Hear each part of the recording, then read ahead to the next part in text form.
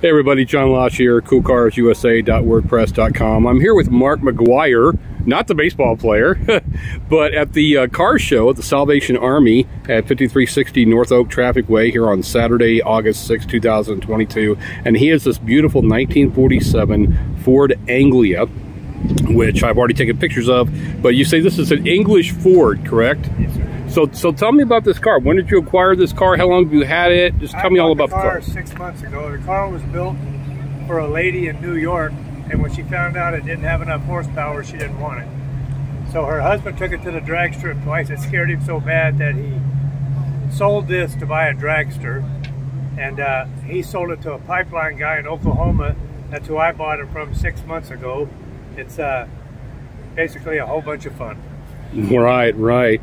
And did, did it already come like this, or did I you? took the, the Holley or the, Edelbrock carburetors off of it, put the Holley Super Sniper throttle body injection system on it. So I- I've at least gotten that far. And next will be the paint, and then we'll start on the interior. But Oh, okay, it's a work in progress. It's far from done. there you go, there you go. And it, and it is drag strip ready. You can see the thing on the back there. is, So if this is. thing lifts up, it's got the wheels to. It'll, it'll never see the drag strip because my insurance company said that would be the end of my insurance. Oh, okay.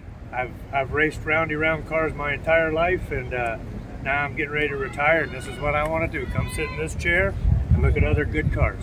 I hear you. What, what are you retiring from? Uh, driving a truck. Driving a truck. Well, I work in a, I work in where an underground warehouse in Independence. There you go. So I deal with truckers all day long. haul so heavy equipment. So. Yeah, smart warehousing.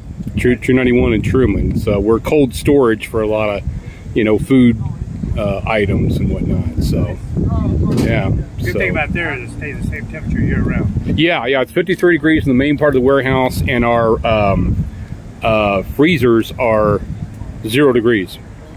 Yeah.